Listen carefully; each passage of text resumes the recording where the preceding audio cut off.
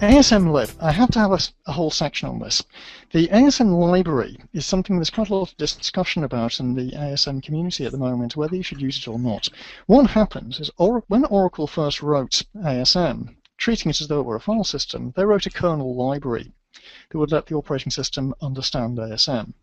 And the idea was that just as there are kernel libraries to understand NTFS, or ext3, or HP QuickIO, you know, every file system manufacturer writes a kernel library. Veritas have a kernel library for their file system.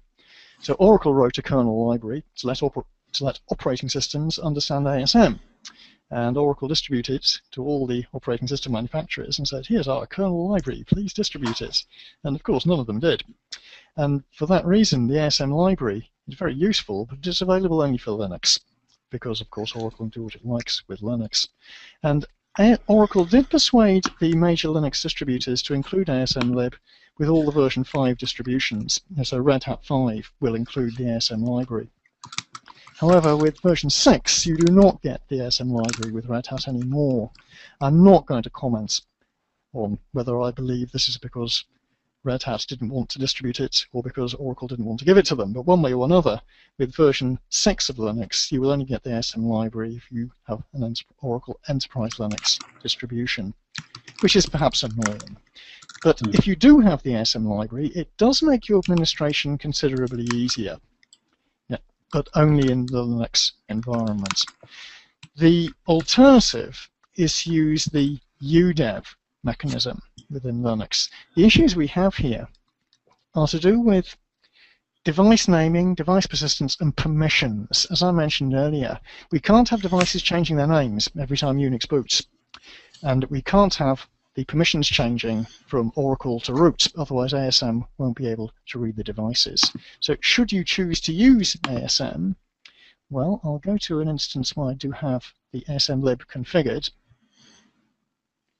once again, change my font. Is the ASM library configured at all? Well, USR, and in the SBIN directory, if the ASM library has been available, there will be a utility called Oracle ASM. And there we see that on this version, Oracle ASM is enabled.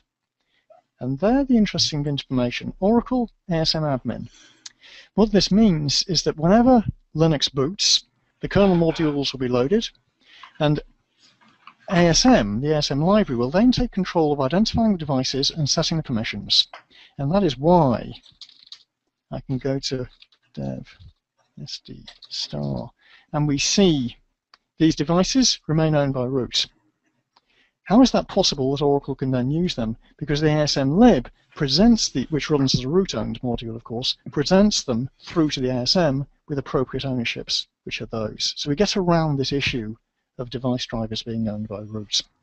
The alternative approach, well, I suppose we can take a bit further. Let's, what time? Yes, we do just about have time. If we look at the other commands, what are the disks?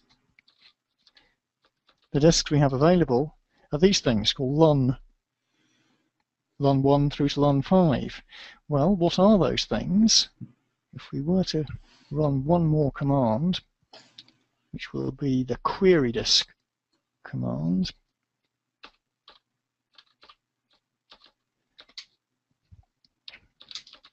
and choose just one of these. Now what is in fact LUN3? So LUN3 is what's being presented to ASM, and that will be owned by Oracle.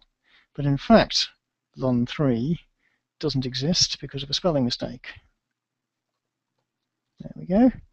LUN3 is in fact device number 849.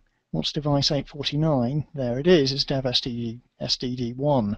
So that's how ASMlib maps physical devices onto logical names. It's these logical names that are then presented through AS to ASM, and ASM will then format disk groups onto them. The alternative approach is, however, to use UDEV, and that I did here. Uh, this, by the way, is where I rely to a great extent on our system administrators. You have to cooperate with your system administrators, more of that later on. And if we look at the UDEV, as these note proper ownership, the ownership there is owned by Oracle.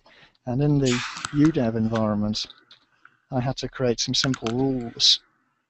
Oh, there yes, there are the rules files I created.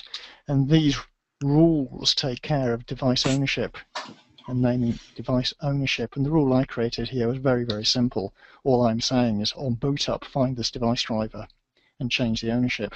And our system administrator would scream at me for doing this because the moment we add a new disk, we might find these device names changing. Hmm. And this is a lot of more complex setup, but it works for this environment. I just want to em emphasize that use of ASMLib is optional. There is an alternative, which many people prefer.